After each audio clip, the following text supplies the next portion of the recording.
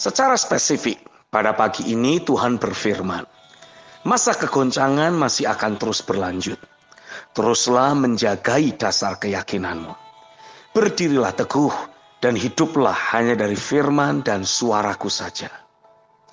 Yang pertama, teruslah membangun manusia roh secara sedemikian rupa, lebih agresif dan lebih kuat lagi.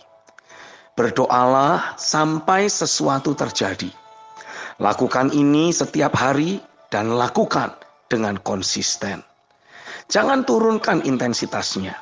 Jagai terus manusia roh kita ada dalam kondisi vitalitas terbaiknya.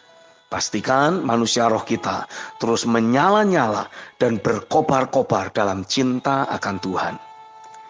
Yang kedua, luangkan waktu lebih banyak dalam pembacaan firman Tuhan. Gali dalam-dalam. Deklarasikan dan imajinasikan firman sampai roh kita berkobar-kobar.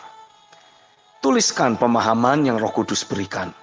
Sebab bersamaan dengan itu roh kudus sedang memeteraikan diri kita dengan firmannya. Injil Lukas pasal yang ke-6 ayat 48 mencatat. Ia sama dengan seorang yang mendirikan rumah Orang itu menggali dalam-dalam dan meletakkan dasarnya di atas batu. Ketika datang air bah dan banjir melanda rumah itu, rumah itu tidak dapat digoyahkan karena rumah itu kokoh dibangun. Perhatikan sekali lagi apa yang Roh Kudus katakan. Jangan membangun dirimu dari material yang lain. Pastikan engkau membangun hidupmu hanya dari firman saja fokus. Yang ketiga, jagai hati dan pikiran untuk tetap bersih dan tahir. Dalam arti kita bebas dari berbagai bentuk konflik batin. Sebab hanya doa orang yang hatinya bersih dan tahir, doa orang yang benar, besar kuasanya. Jadikan kitab Filipi pasal 4 ayat yang ke-8 sebagai patokan dalam berpikir, berimajinasi, dan mengelola perasaan serta tindakan kita. Filipi 4 ayat yang ke-8 dalam terjemahan firman Allah yang hidup mencatat, Saudara sekalian yang saya kasihi, pada akhir surat ini saya ingin mengatakan satu hal lagi. Arahkanlah pikiran saudara kepada hal-hal yang benar, yang baik, dan yang adil.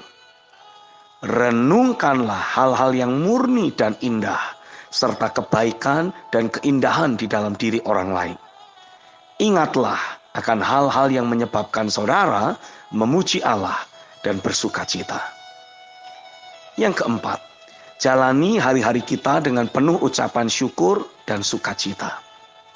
Bersyukur dan bersuka cita bukanlah perasaan karena situasi dan kondisi sedang dalam keadaan yang baik-baik saja. Melainkan bersyukur dan bersuka cita adalah sebuah perintah dalam segala situasi dan keadaan. Artinya, perasaan itu harus dimunculkan karena pekerjaan firman dan rohnya di segala waktu yang kita miliki. Jadi kekonsistenan untuk berinteraksi dengan roh dan firmannya merupakan gaya hidup yang harus terbangun secara sempurna di dalam diri kita. Kekasih Tuhan, itulah arahan yang saya terima yang saya akan lakukan demi menghadirkan realita kerajaan sorga yang tidak tergoncangkan di masa kegoncangan yang berikutnya. Tuhan itu nyata dan dia masih terus bekerja. Amin.